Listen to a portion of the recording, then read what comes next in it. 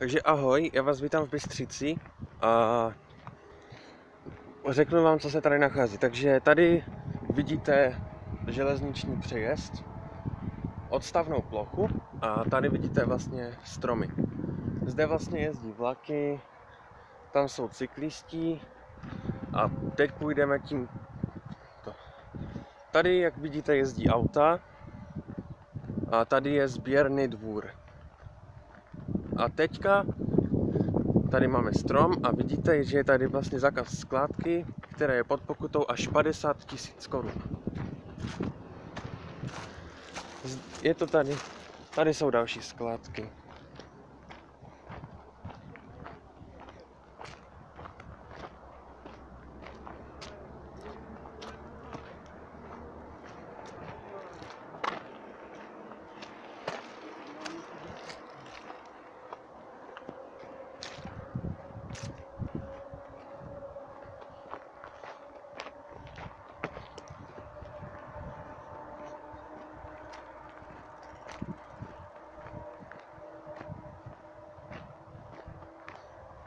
A zde vidíme statek.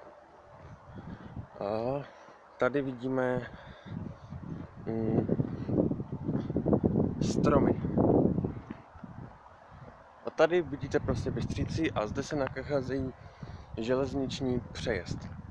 A tady je rodina nějaká. A tady vidíte mm, most. Takže tohle by bylo konec tohoto videa. Uvidíme se u dalšího videa. Nashledanou.